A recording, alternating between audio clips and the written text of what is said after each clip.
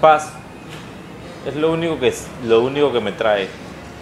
Porque no pienso en nada, solo estoy pensando en lo que siento y, y lo que voy a escribir sobre la pared.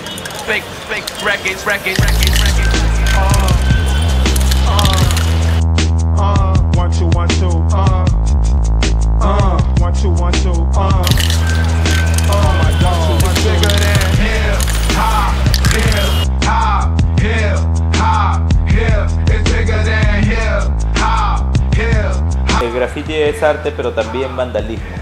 Y yo lo definiría as- así. Music when it hit, you feel no pain. White folks that controls your brain. I know better than that. That's game, man. We ready for that. Two soldiers headed the pack. Matter of fact, who got it? And where my army at? Rather attack and not react. Back to beat, it don't reflect on how many records get sold on sex, drugs, Yo creo que reflejan una parte de lo que soy, una parte de la realidad nacional, una parte de lo, cómo influye el entorno eh, político, el entorno social, el entorno socioeconómico, las clases, eh, el racismo indiscriminado que hay por estas épocas.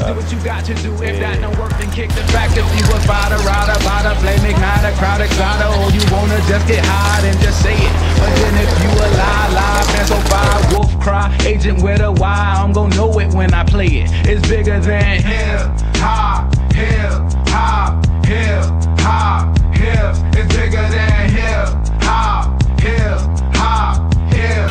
frente al muro, me paro, espero que, que, que como que se como que el filtro que tengo en la cabeza de todo lo que pienso salga por mis manos.